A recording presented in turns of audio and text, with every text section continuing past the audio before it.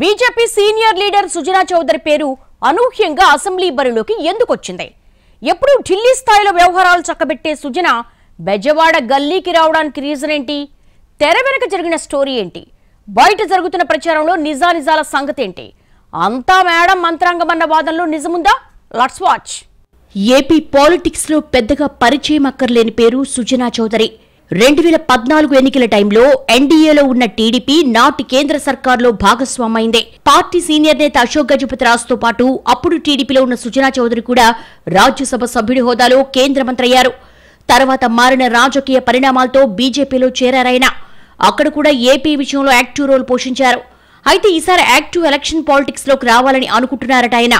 విజయవాడ లేదా ఏలూరు లోక్సభ నియోజకవర్గం నుంచి గెలిచి మళ్ళీ పార్లమెంటు మెట్లెక్కాలని ప్లాన్ చేసుకున్నారట. కానీ తీరా సీట్ల ప్రకటన టైం వచ్చేసరికి సీన్ రివర్స్ అయింది. లోక్సభకు వెళ్ళాలని భావించిన సుజన అసెంబ్లీకి పోటీ పడాల్సి వస్తోంది.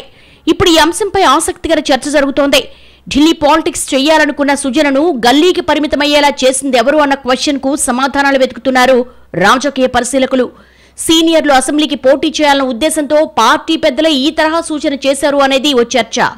ప్రతి ఒక్కరూ ఎంపీ అంటూ ఢిల్లీ చుట్టూ తిరుగుతుంటే అసలు ఏపీలో పార్టీని బలోపేతం చేసేవాళ్ళు ఉండరనేది బీజేపీ హైకమాండ్ భావనగా కనిపిస్తోంది.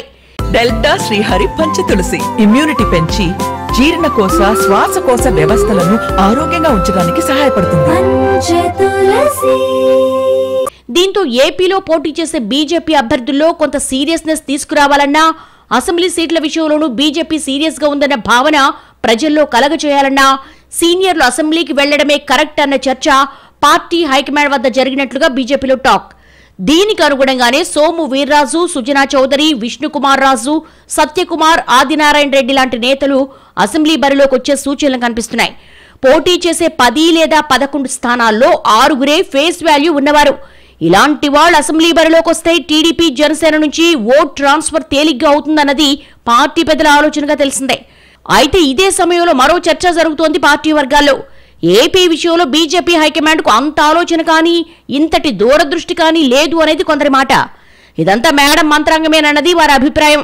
ఎన్డీఏ మరోసారి అధికారంలోకి రావడం ఖాయమన్న సంకేతాలు వెలువడుతున్న టైంలో ఢిల్లీ కోర్టులో పాగా వేసేందుకు పురంధరేశ్వర్ అద్భుతమైన గూగ్లీతో పార్టీలోకి సీనియర్లను క్లీన్ బౌల్ చేశారన్న చర్చ జోరుగా సాగుతోంది.